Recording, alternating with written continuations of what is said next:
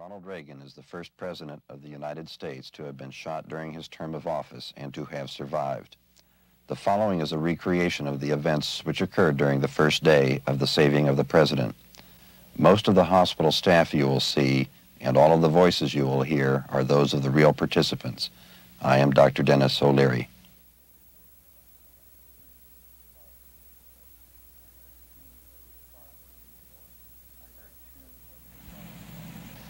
I heard two sharp reports.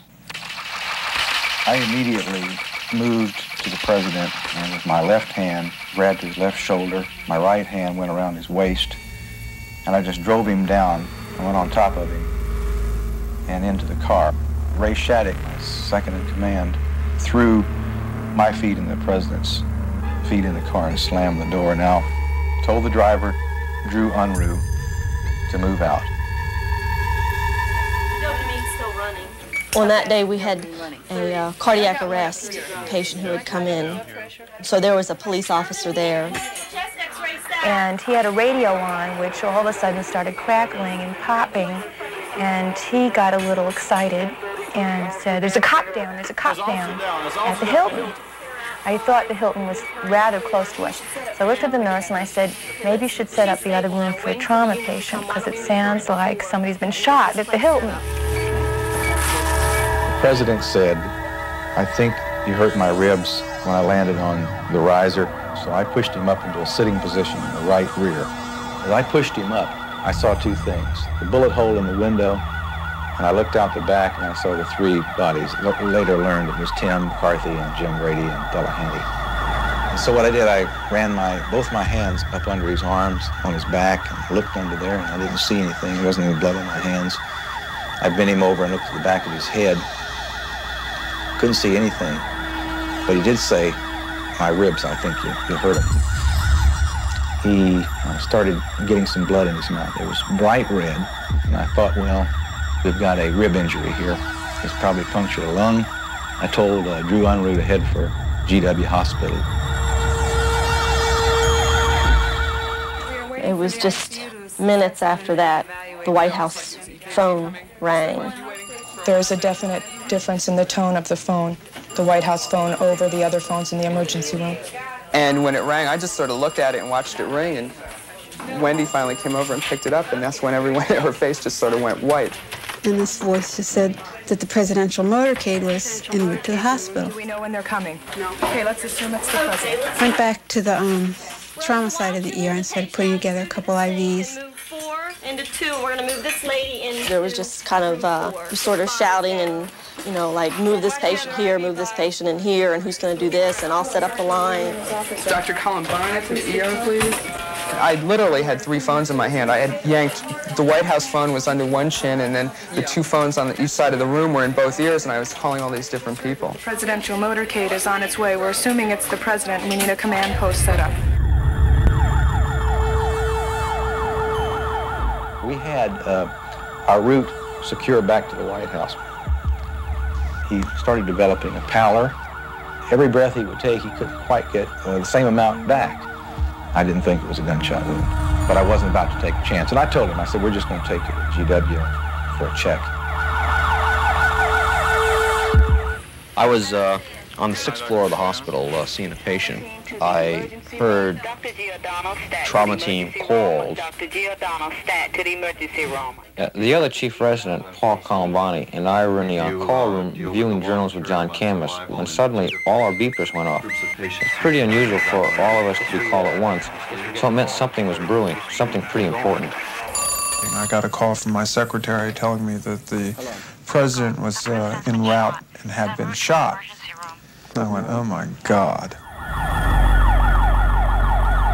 I still can't get over the fact of the delay between when I know now that I was shot, but didn't know then, and the feeling of pain. I always just assumed if you were shot, you felt it and felt it right then.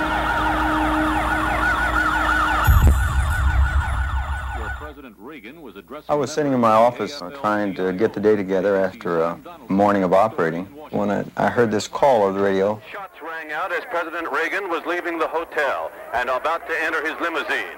I was up in the Department of Pathology reading some slides and um, was sitting by an open window, which happened to be right over the Washington Circle entrance of the emergency room. And I saw the ambulances and the limousines coming right down Pennsylvania Avenue.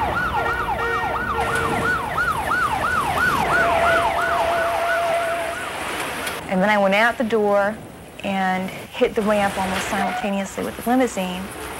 And um, I think the first person that stepped out was the Secret Service person. And I looked down at the president, and he sort of told me with body language, I'm going to walk in here. And the Secret Service people kind of gathered around him and started sweeping him into the emergency room. Do I remember very well walking into that emergency room, not even knowing that I'd been shot. Having trouble breathing? Only learned afterward in reading I wasn't quite as well as I, I thought I was at the time.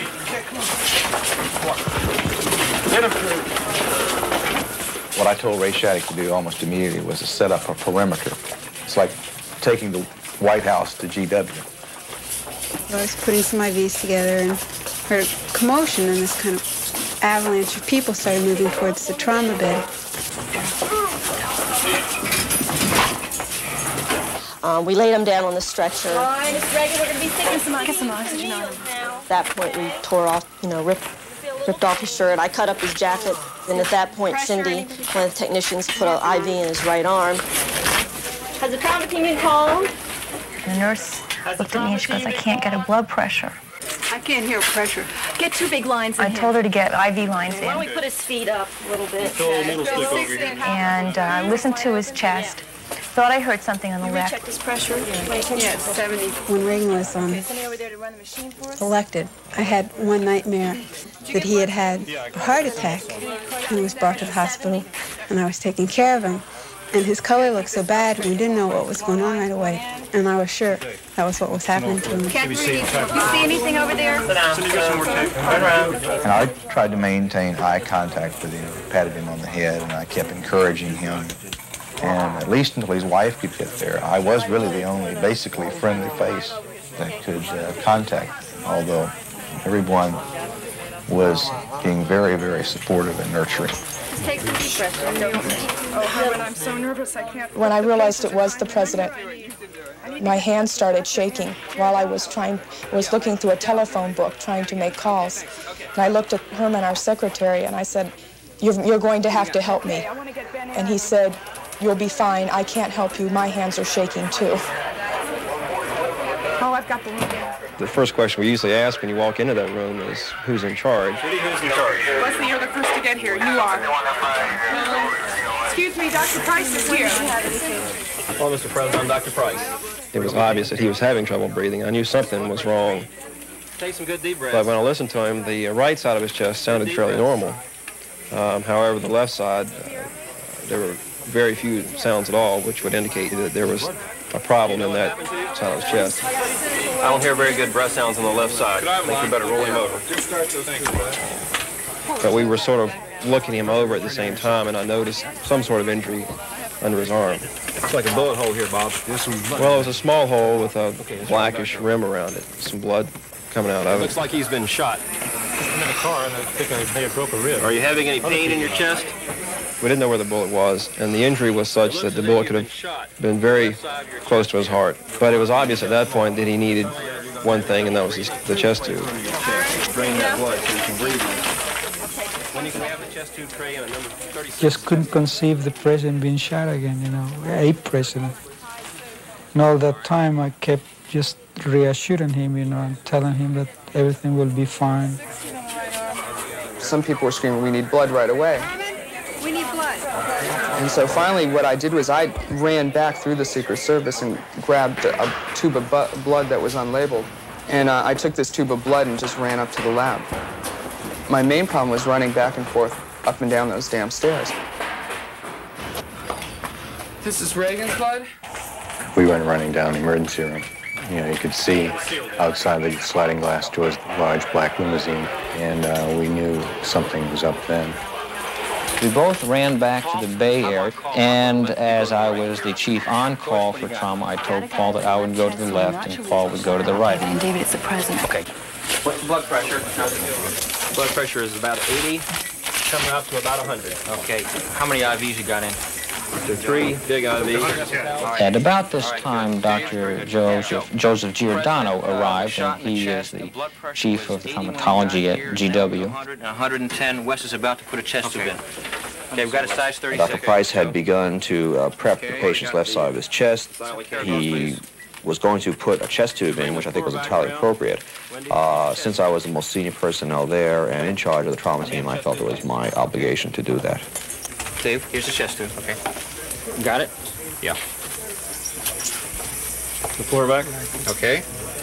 Okay. There's a lot of blood there. After I inserted a chest tube, uh, I also observed and noted the amount of blood that was coming out through the chest tube into the pleurovac. It's better. Still one thing. All right. No slice. Stabilize it Get the even blood down here as soon as possible. Get uh, at least eight units. We're gonna need eight units. Mr. President, feeling any better, sir? Short of breath? Okay, this should help a lot, all right? It's gonna take out the air and the blood and so forth in your chest. All right, it should make things a lot better. All right, you just breathe. And there were at least five Secret Service people in the back, and the room itself is really small. So I, I said, you know, we've got to move people out of here. They left one or two Special Secret Service people in the back, and I got positioned at the door, and every time somebody went to go in the back, the Secret Service people would look at me and say, who's he? I go, that's the chief of surgery, he's okay. There was enough people taking care of the president and, you know, Brady and McCarthy, and I felt somebody has to take care of everybody else. And that's where I felt that where I came into play. I just continued to take care of patients in the other treatment area. And so I went back and forth between sides to be sure that the patients were getting cared for. That was mostly my role. There was a tremendous congestion of people. At the entrance of the emergency room were Mike Barch and a Secret Service agent. He's, he's okay. He's, he's the director of the ER. Mike identified me, and I walked in. First person I saw was Dennis O'Leary. back there. And I said, what's happening? And he said, you better go back there. Uh, President has taken a, a bullet in the left chest. We've. Uh, I feel the president was very seriously injured, but I wouldn't define him as being in shock. But I think he was right at the threshold. Got him resuscitated. We've given him a lot of fluid, a lot of blood. Uh, he's got chest tube. I think any type of delay, five minutes, ten minutes, in which he would have continued to have lost blood, he would have gone over that threshold. I think it was important uh, that the president was brought to an institution that has uh, a systematic approach to trauma. I think the establishment of trauma teams and trauma services has made a difference in the management of uh, patients with these type of injuries. Good. All right, good. He looks a little more comfortable and so forth like that. Things are going along real well, nice and smooth. The chest tube was placed and uh, resuscitation was done. Obviously, we knew we needed a thoracic surgeon, and uh, Dr. Giordano turned to me and said, uh, get Ben Aaron. I think at this point, Tom, we want to pull Ben down. I turned around and looked down the hall, and uh, Ben Aaron was all, all, already on his way in. First thing I observed was not the president himself, but in the bed next to him was Mr. Brady. And he looked, as has been described, very grim. I looked to my left. As I approached, they saw me and parted the curtain of people, and I, and that was when I was uh, introduced to my task. Put a chest tube in. His blood pressure when he first came in was kind of low. He's responded very nicely. I guess it occurred to me at that time that this could easily be history repeating itself, having sort of lived through that event in Dallas when President Kennedy was shot. And I just sort of sent up a little prayer and saying, I sure hope the president isn't irretrievable at this point in time. And of course, at that point in time, it sunk home on me that he was going to be my patient. Let's get a chest x-ray. We already got one ordered. I've noticed that there was a metallic fragment about a three quarters of an inch long, irregular, adjacent to the heart in the left side of his chest. And I went directly to the side of the president's table. Ben, look, there's a fragment. It's near the heart. Uh, the chest tube is in good position. There's not much pleural fluid. Uh, I don't know what the caliber of the bullet is. It's it's deformed. I don't know if the, I don't know if it's the whole thing. We were afraid that had it been a 38, there would be another fragment some other place. Could be in his abdomen, having gone through the diaphragm. And as it turned out, there was no fragment in his There could be abdomen. more. It wasn't too long after that we heard that it really was a smaller caliber bullet. What we were seeing was all of it, just deformed. Mr. President, there's a, a, lot of blood coming from your chest tube. Now, we know the bullet's in your chest, and we don't know what's been injured. But because the blood continues to come, we think it would be safest to take you to the operating room. We don't feel that you're in any immediate danger, but we think that that would be the safest thing to do rather than just watch you bleed for the next, we don't know how long. Before the president arrived, though, there was an onslaught of Secret Service men. The locker rooms are beyond the double doors past the exit sign. All right, and I'll meet And there. asking by this time what room was going to be used for the president, wanting to know what other entrances were available to that room. And so we had them change clothes into operating room greens, and they came back. I think one funny thing was one of the Secret Service men had the greens on, came back barefoot, and uh, all ready to go. And said he took his shoes off because he didn't think that was going to let him go into the back with the shoes. And I told him, no, you know, you're going to have time to go back, get your shoes. We have his shoe covers that you can put on. So we will wait while you get your shoes.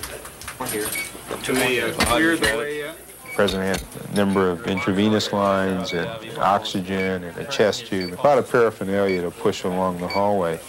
And I remember as we began to move, and I, I decided I would station myself in front of the bed, and the bed could move no faster than I would let it move.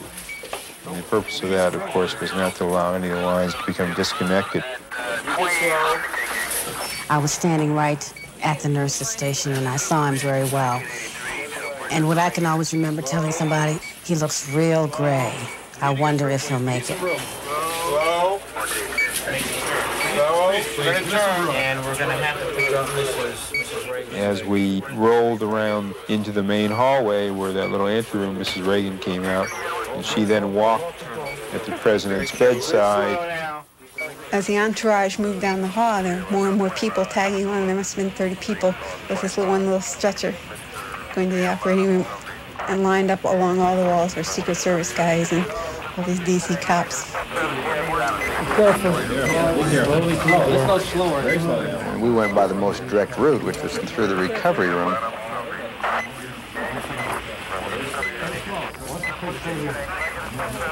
As he came down the hall, and I noticed that there was no uh, bed rail on the foot of the bed.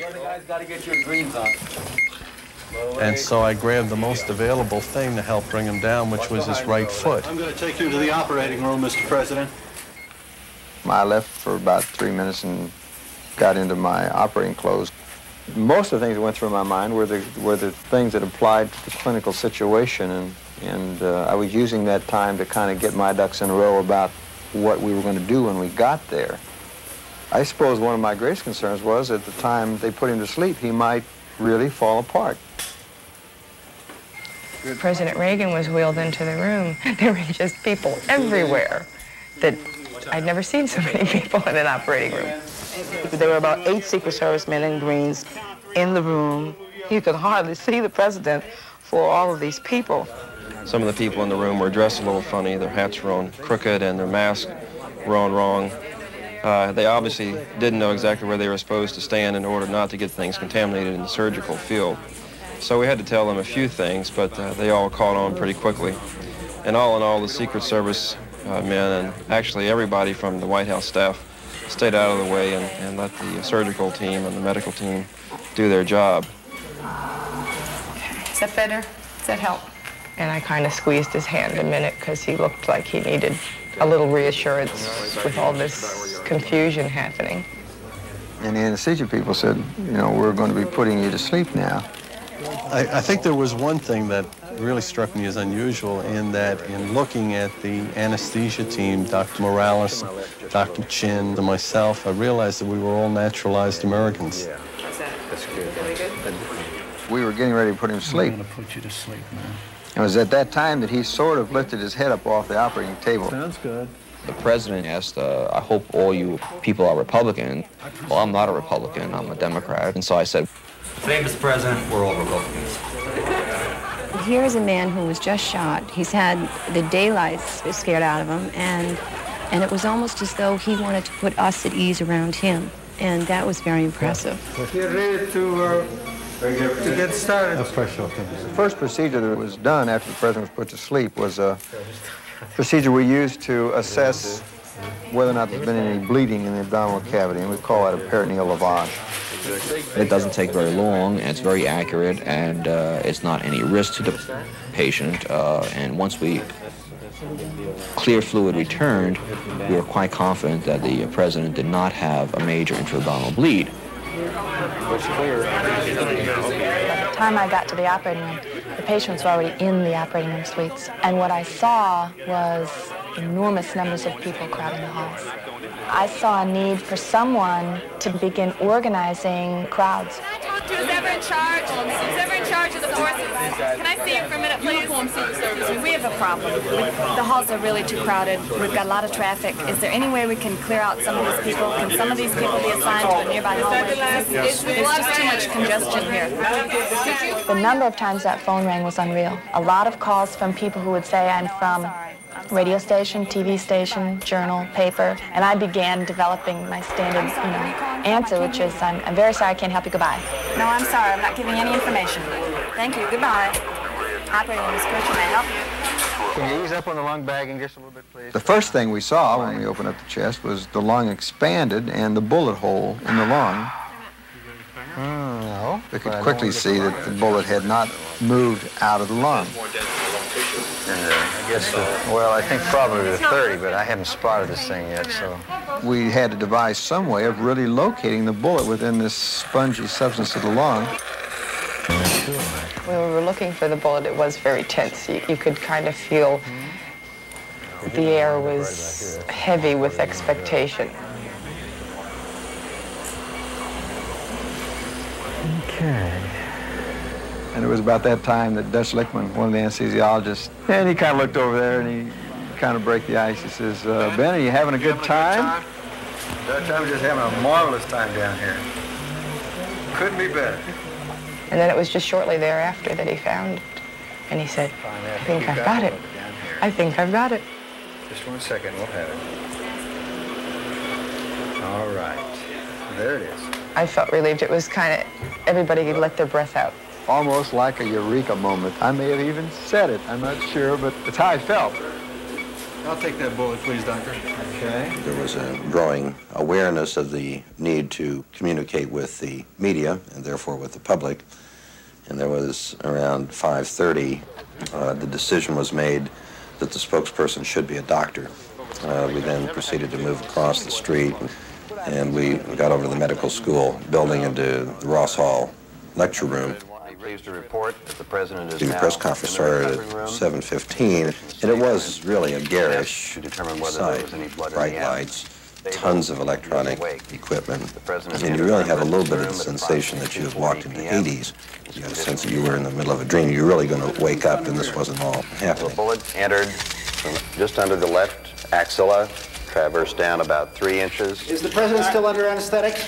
No, he is awake now. How long were you in the hospital? That is always difficult to say. The president, however, is an excellent physical specimen. As that announcement came out over TV, uh, we crowded around the little screen up in the intensive care unit. Uh, that he is uh, clear of head. It just became very obvious that uh, while we were supposed to receive the president, and it was time for him to be out of the operating room, uh, he didn't.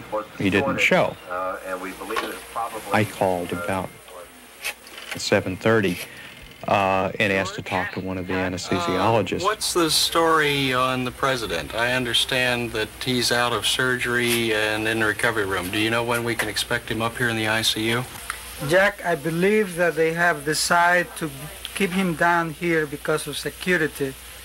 The indication that I got was that they were thinking of keeping him in the recovery room that night. The recovery unit, which had everything available that the intensive care unit has, was just about empty by this time of day. I basically implemented that decision that we would take him to the recovery unit until he was extubated and stable. Dr. Morales, he's having a lot of pain. Can we give him something for it? Just please give him about five milligrams of morphine intravenously. The moment I walked into the recovery room, Ben from the word go says, got to take care of the president as, as, as we would anybody. You know, the magnitude of his office out of the situation and to, uh, to deal with him as we would with anybody.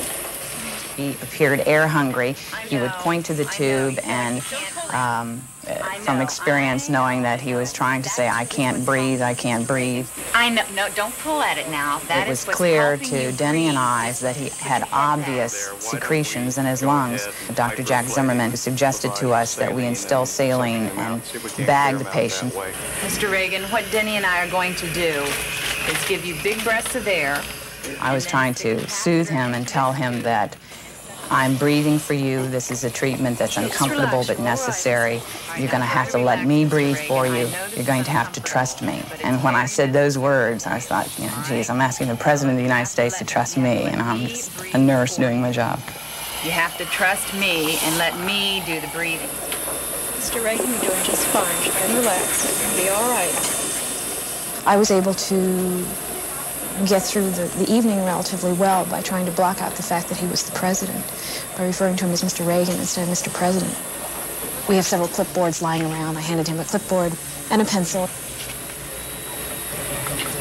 He wanted to know if anyone else had been hurt.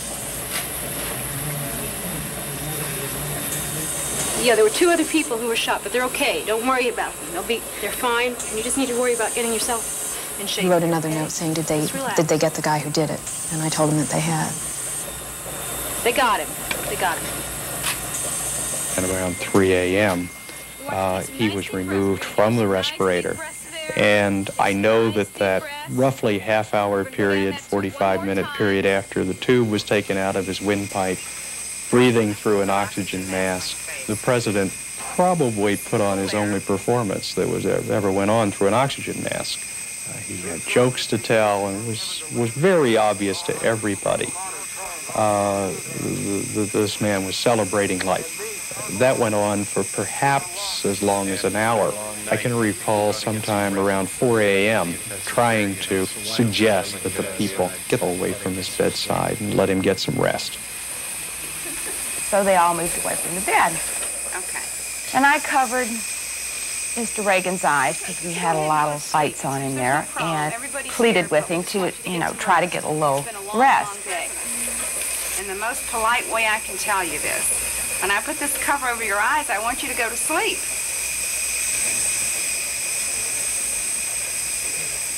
One of the nurses produced the screen, the recovery room lights went out, and the president finally got a couple hours sleep before we moved him up to the intensive care unit at 6.15 the next morning.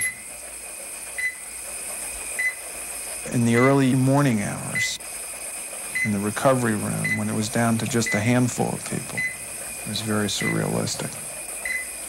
There's the beep, beep, beep. And there's the President of the United States laying in the recovery room, and it's a time when you're going, Whew, some history's happening right here.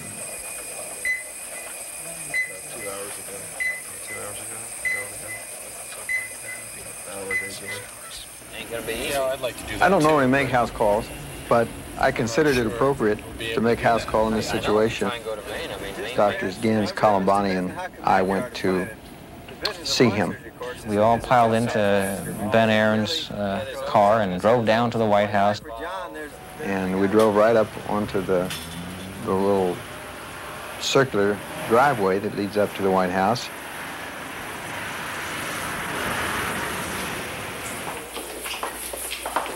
And then we went to the president's uh, quarters. See you again. You're really looking well. I feel good.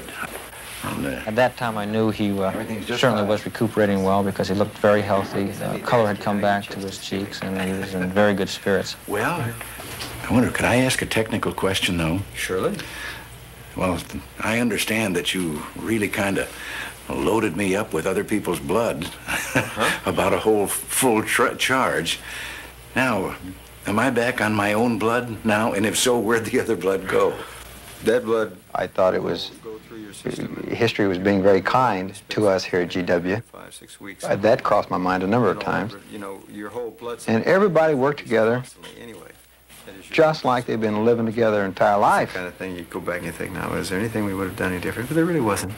Uh, We, we've all hashed over the things and said everything came off about as well as it possibly could have. There was, uh, I feel that I was very lucky.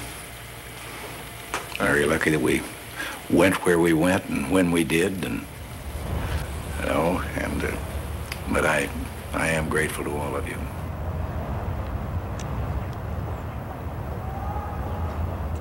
The saving of the president is a portrayal of an extraordinary event, one which hopefully will never happen to any of us again. However, in one sense, it was not extraordinary. The same kinds of committed people and facilities do the same life-saving things every day for less well-known victims of trauma. Serious injuries have always been a part of life, but today the resources of academic and other major medical centers have been integrated to save lives that were once forfeit while the delivery of everyday patient care continues uninterrupted. This is the end product of years of medical research, education, and patient experience, which are the distinctive features of our nation's academic health centers. And on this particular day, at that moment in history, the result was the saving of the life of a President of the United States of America.